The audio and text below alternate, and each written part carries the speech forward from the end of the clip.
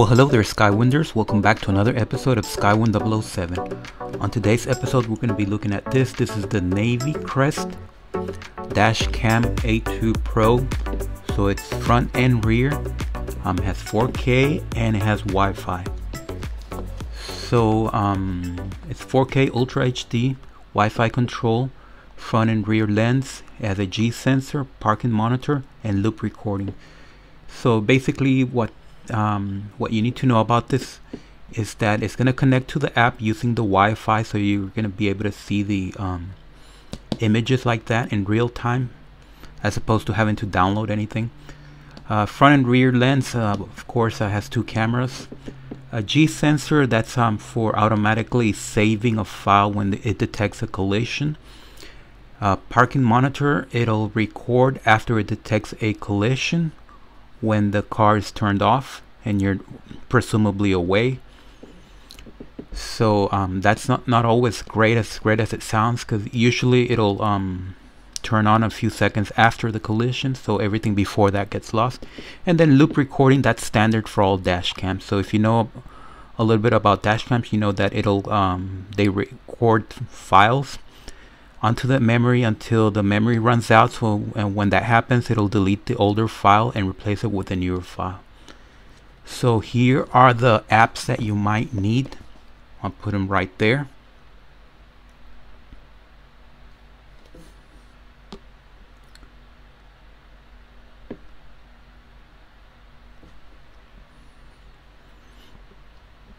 And let's open it up and of course here's the camera.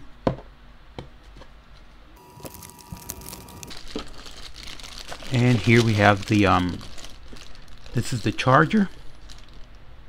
It has a USB-C charger. And here's the rear camera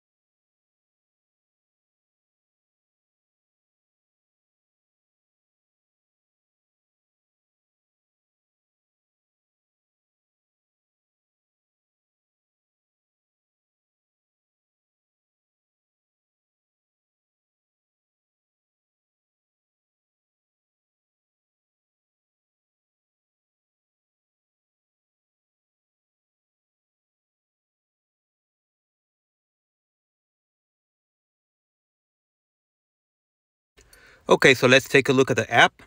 Let's click. So that's the intro.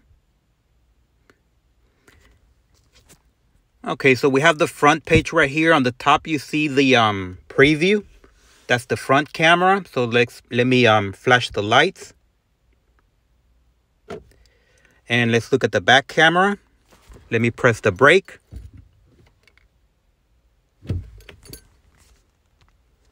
Okay, so on the bottom we have camera file. That's where all the files will be. All the files that are on the camera, which you can download to your phone. So let's go in. So it's looking for those files in the camera.